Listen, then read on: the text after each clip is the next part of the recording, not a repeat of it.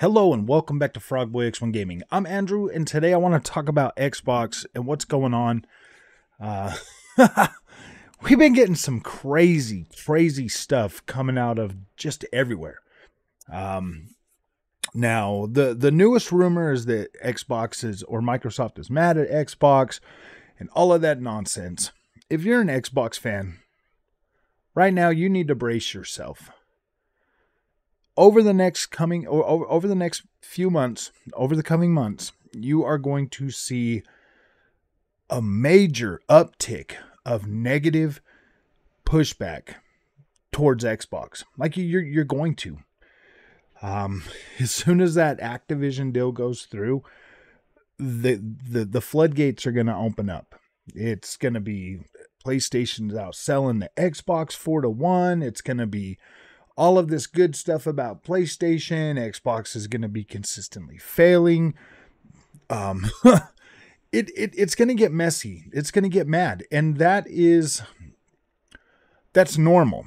That's normal when the paradigm of of of like like the power is going to shift. Like it's it you're going to see a massive not like a massive transfer of like everybody's just going to drop PlayStation and run to Xbox or anything like that, but you're is what you're going to see is you're going to see the future of gaming, which is which is Microsoft, Amazon, you know, Facebook, all of this stuff. You're going to see the future of gaming evolve right between right right before your very eyes.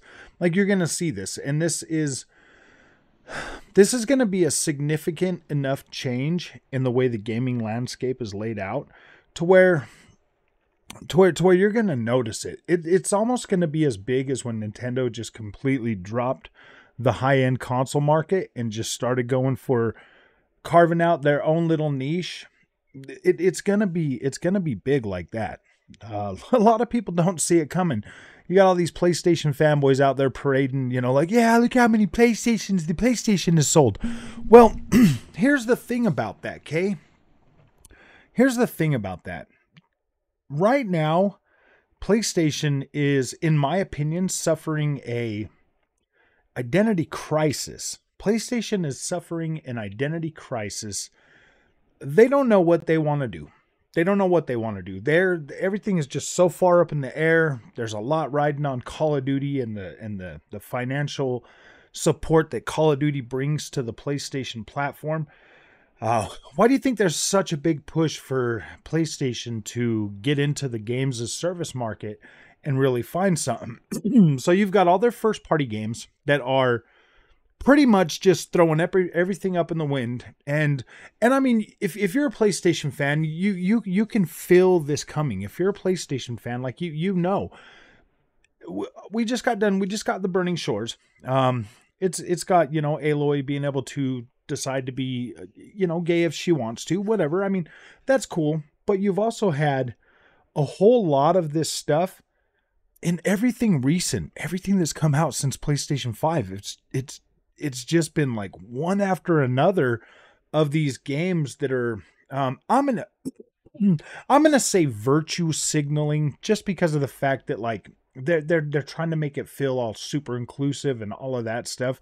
And they're and and it doesn't even feel like these games are good stories anymore. It just feels like they're they're put together to feature all of this different stuff, which I mean, like overall, I mean, it works. It's okay, whatever. You know, the graphics get the game by, or or some standout part in a story might might might be just enough to push it over the top. But you notice, uh, like the score, the score of these, the overall Metacritic scores of these games, just kind of, just kind of fluctuate and pretty, pretty, uh. pretty much to the point where it's like, oh wow, you know, like th- they're not scoring as high as they used to and most of them are forgettable. I mean, like God of War Ragnarok, forgettable story. Horizon Forbidden West, I mean, it was okay, but it wasn't like earth shattering or anything like the first game. Uh, you, you've had, you know, Ratchet and Clank Rift Apart. I mean, that one, that one was pretty decent. That was a pretty good game. I'm not going to say nothing negative about that. I liked, you know, them bringing Rivet to the, to the forefront and stuff, but I mean, they, they they've kind of sidelined Ratchet for Rivet. You know, you can't tell me that Rivet wasn't the star of that game. They pretty much r- sidelined Ratchet. You know, God of War Ragnarok. They pretty much sidelined Kratos. They they they made him. You know, um, they they they they significantly weakened Kratos's character from what like if you grew up in from my from from the beginning of the God of War series, you know what I'm talking about. Like you know what I'm talking about. Like Kratos is a shell of his former self. Uh, they pretty much got rid of Nathan Drake. You know, they brought in, you know, I mean, they they've gotten rid of Nathan Drake. They got rid of freaking uh, Joel it, it's just this whole thing that like the PlayStation Studios have like went on, and and they've they've. They've they've they've gotten rid of what made PlayStation games great and filled it with just I mean it's it's not not like what they're doing is not bad by any means like it's not terrible but it's not like it it it doesn't feel it doesn't feel as genuine as say like The Last of Us 1 you know what I mean? Like it just doesn't feel genuine like Uncharted 4. It doesn't feel genuine like some of these bangers that came out on the PlayStation 4 and, and before that. It's it's starting to feel like they're they're really they're really trying to figure out that they're, they're having an identity identity crisis right now in real time and it's and it's just falling down around them. The sales of these games are starting to lack when people finally play through some of these games are like wow man that just wasn't the banger i thought it was going to be. And and you can you can you can do whatever you want with your little console war. You can say whatever you want but you know what i'm saying is true. You know what i'm saying is true. And the reason why it makes you mad is because it does. It hurts deep. Like i'm a playstation fan. I know how you feel man because i feel that way. But i'm not confined to some stupid plastic box that i can't talk about it um, and then and then to top it off, then you have PSVR 2. I love my PSVR 2. Like I love the thing. I think it's great. But we all know that it is suffering in sales right now. Like it's not it's not moving as fast as it as, as it as it potentially should. And and that's that that mainly is due to the to the to the amount you know to to the high cost of it and then you know just the lack of software at launch. I do believe the playstation 2 vr vr2 is going to take off and, and get a little bit better. But then you've got playstation buying studios that you know that that are that are building out like games as service games. Like you don't see it coming right now because you've had the first couple of years of the PlayStation 5 having your traditional PlayStation games just a little bit watered down. No, not necessarily watered down, but but not as good as they could have been if they would have just stuck with a solid story and moved forward with some good character development instead of all this like this um this virtue signaling that they're that they're that they're trying to do. Like I get it, man. Like during the production of all those games, Donald Trump was running for president. He won. He beat Hillary Clinton. He freaking like it seriously it seriously like did something to game developers when that happened. Like I don't know, I mean like Ubisoft started doing all the stuff. You had you had pretty much you had like Take Two Interactive, the creators of freaking of, of of Grand Grand Theft Auto out there doing like a virtue signal thing like during E3, man. Like you seriously had nonsense like that going on. That's just how screwed up in the head like everybody was. Like they they they worry so much about politics that they can't even get their work done and then they're like, "Oh yeah, we're going to show you." And then every and then and then society just went mad and now we're just getting the uh now we're getting the product of all of that.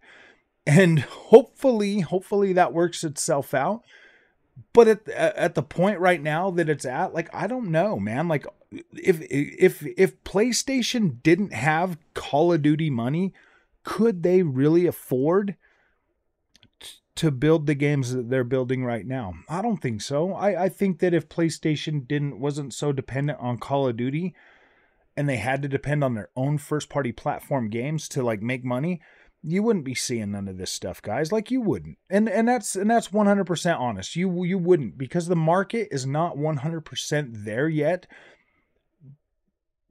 They, they still need they still need like regular people's money you know? They they still need like regular freaking you know people that play video games and they want that that hardcore story and that you know that they, they want that they want that toxic masculinity in their video game still like you still have a significant portion of people that want that type of experience that don't really care for all the stuff that they're putting out right now I mean, most of these people defending all of this stuff, and I'm like, yeah, I mean, this stuff's great. They probably haven't even. I mean, dude, I, I get the whole you gotta defend your plastic box thing. Like, I get it. I get it. 100%. I get it. Hopefully, moving forward, things are changing. You know, things are. I hopefully they're getting the point that like, oh man, we need to stop doing this stuff. But, but I don't know. I don't know. I could be completely wrong on that. Maybe they've done some market research, and this is exactly what the market research is telling them that they, that they need to create and people like me are just a like a, a thought of the past and they're willing to lose that money for for like the new for the new crowd that's fine with me they they see that games like fortnite and other live service games are making money hand over fist and they want a piece of that so now they're throwing as much as they can at that only needing one only needing one game to perform like fortnite so they've got like 10 of them in the works. Um, a few of them have already flopped.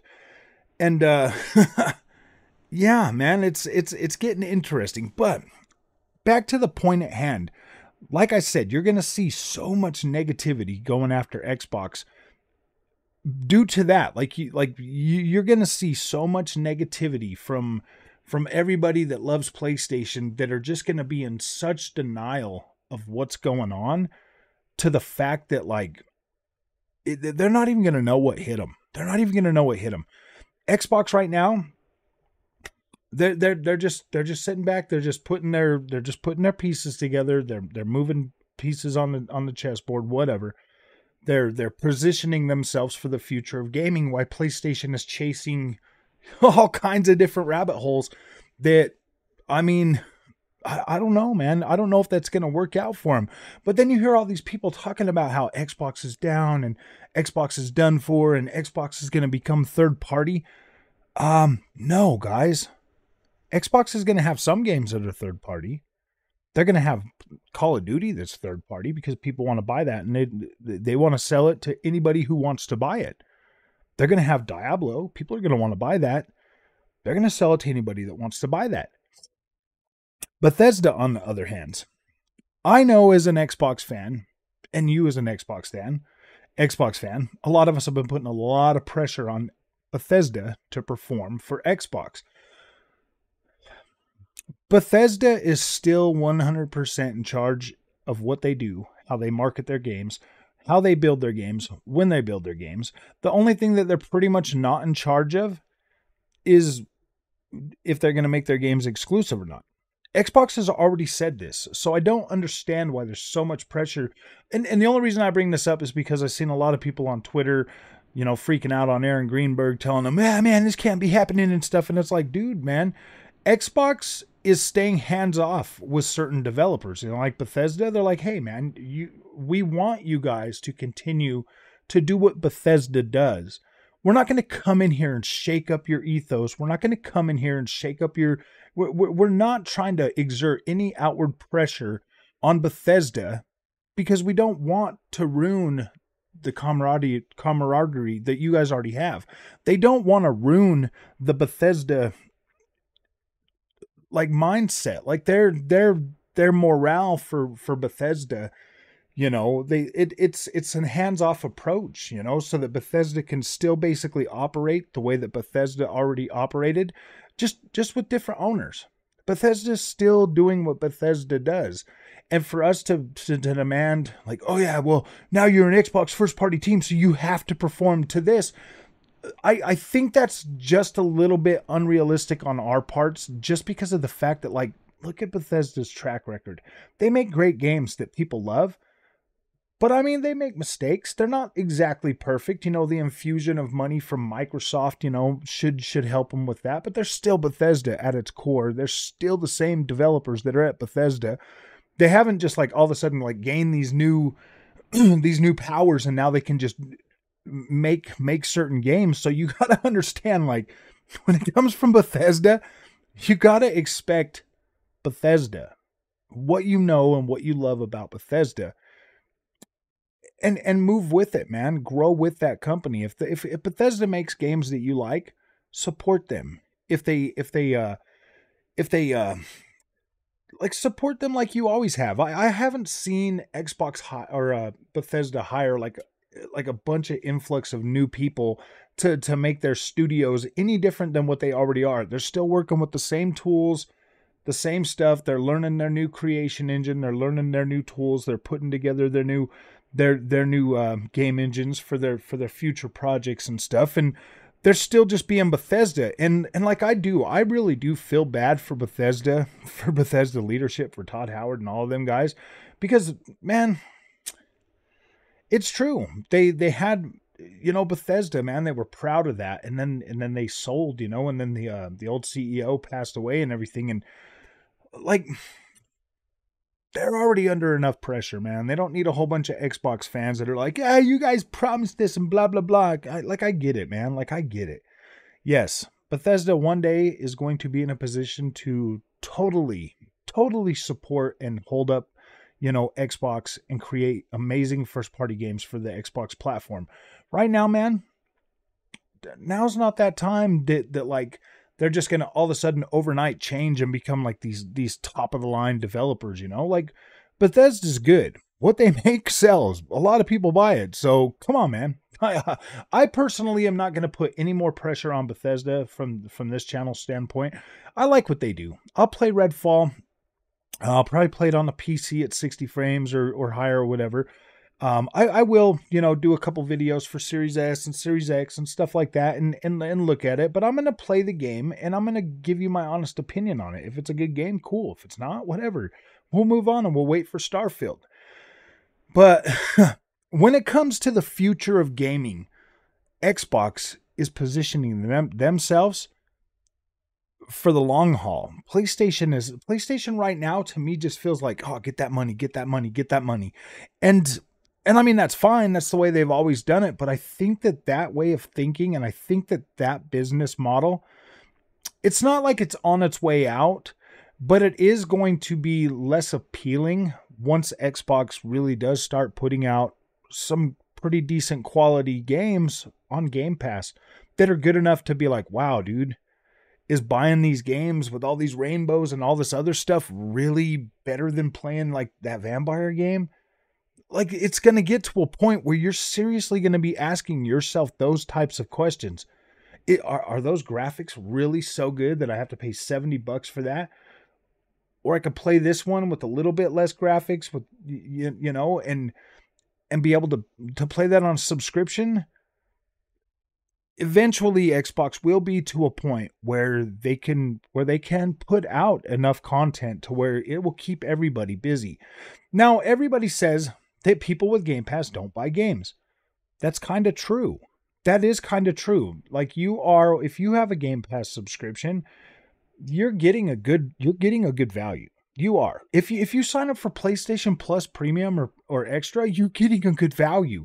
There's no reason to buy games if you have a plethora of games that you can download and play off of one of those subscription services. There's no reason to pay $70 for a game when you can just pay $15 a month to play whatever you want to play. Now, yeah, there's there there are going to be those games out there, but I'm telling you, man, this generation, I have seen it firsthand. $70 AAA bangers underperforming games that come out on Game Pass, man. You get you get the game on Game Pass, 28 million people playing like Forza or whatever. You got like two, three, five million people buying a Sony first party game, that's that's significant, man. That's significant. 25 million people downloading a game versus 5 million people buying the game. That's literally the same income. And that game selling 5 million isn't going to sell 5 million every month, but Game Pass is going to make 380 million dollars every freaking month selling that service you are going to see a paradigm shift. I've said this before. People laugh at me or or laugh and they don't think it's going to happen because PlayStation's out there right now selling outselling Xboxes 4 to 1. you don't need an Xbox to play Game Pass games. You can play on a on a on an Xbox One. You can play next gen Xbox first party games on an Xbox One S through xCloud. I streamed it the other night. You don't understand. Like right now, people don't need to run out and buy an Xbox. They can literally sit there online and play the same game that I'm playing natively on my Xbox Series X. They can play it at 1080p at 60 frames a second, and it feels better than what they would be playing on their Xbox One S. It does. Even with a little bit more latency and everything, it still feels better than playing at 30 frames per second. And that's what people don't understand. You do not need an Xbox Series X or an Xbox Series S to enjoy Microsoft first party games or anything that's on Game Pass. Really, anything that's on Game Pass, you can still play on your Xbox One with with with XCloud. So when people are sitting out here saying that like PlayStation's outselling Xbox 2 to 1, no, dude, you got to look at the other numbers. The the amount of monthly active users that are spending time in the Xbox ecosystem that are still being able to utilize their old technology to play new games. They're still being able to do that. There are more monthly active monthly users on Xbox right now, and that number continues to grow while PlayStation keeps selling consoles and one to two games, and people finish those games and then they got to wait till they can buy another game. Their their user base is generally not doing as well as what Xbox gamers are doing. Most Xbox gamers are on their Xbox fairly regularly playing something new from their Game Pass subscription. So I don't know, man. I get it. I hear all you guys out there talking talking negatively about Xbox, but I think you're just I think you've completely missed the mark. Yes, PlayStation's out there selling a lot of consoles. They're doing a good job. They are. And we want that. We want them to do good. Like we do. We want them to do good because if they don't, man, like then the competition's over, then then like what do we do from there? Like no, PlayStation needs to do good. So when you're trying to throw that in Xbox guys' faces that PlayStation's better, like, okay, they're selling a lot more consoles. That is their one and only business model. They have to sell you a PlayStation 5 so they can sell you content. Xbox doesn't need to sell you an Xbox. You you need to get that point in your head. You do not have to buy an Xbox to play Xbox games. You don't have to. You have to buy a PlayStation 5 to play PlayStation games, or you got to buy a PC and wait years for them to put them out because they, I, I don't know. It's going to happen. PlayStation games are going to come to PC eventually, day and date, and therefore it is going to significantly reduce the PlayStation console user base. It will. It will have the same effect it had on Xbox. But if you've got a PC, you get to play Xbox games. You see, you see what I mean? There's there's so many more PCs out there in the wild than there are these little plastic boxes. Let that sink in. If you can already get Xbox games on your PC, like you like you like the like the ponies always say, you don't need an Xbox. All you need is a PlayStation 5 and a PC. You're right, dude. They they've already got a PC. They probably upgraded last generation when they found out their favorite games were going to be coming straight to PC and they would get two copies. you know what I mean? Like you guys keep talking about these stupid talking points that really don't matter. And then you guys want to talk about the console sales and you know how how a game like Hi-Fi Rush does. Who cares, man? Hi-Fi Rush, what it took to develop that game, to put it in Game Pass, probably significantly less money than what they make a month in Game Pass. So you really think that Microsoft is mad about losing money on a game that probably took them like one, maybe two years to make? If that, if that, you got to understand that it probably didn't cost Microsoft or Bethesda a ton of money to make Hi Fi Rush, but they probably still easily made their money back on that. And if not, dude, Game Pass got a major boost having that game in there because it was a good one.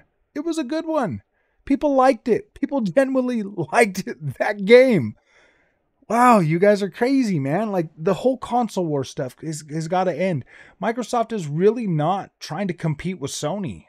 They're they're not. They're they they're not even out there really trying to market Xbox anymore. They're they're they're not trying to market it to the point where they're like spending millions of dollars like PlayStation does to market these games that that really are just they're they're they're they're average at best some of them and and it's like oh dude man playstation used to make good great story games that that had some compelling you know compelling reason to buy them now it's like oh boy i don't know man. Do i really need that game i buy them you know out of habit man i've been buying playstation first party games day and date for a very long time man and I don't think that's going to stop anytime soon, but my gosh, man, like they need to get their head back in the game because know, people are seeing this stuff coming out. And I get a lot of people in the comment section over on Twitter everywhere. They're just like, "Wow, dude, what is PlayStation first party doing to their game? They're they're they're getting rid of all their freaking cool icons like Kratos and Nathan Drake and everybody else, and they're replacing them with with with what? What are they replacing them with, man? Like, come on, come on, man! Like, get it together, PlayStation, or you're gonna have issues, man. Like you're you're seriously giving gamers trust issues at the same time. So yeah, but that's my feelings on it, man. That's my feelings on it. If you like this content, don't forget to like and subscribe, and uh, we'll see Xbox in the future.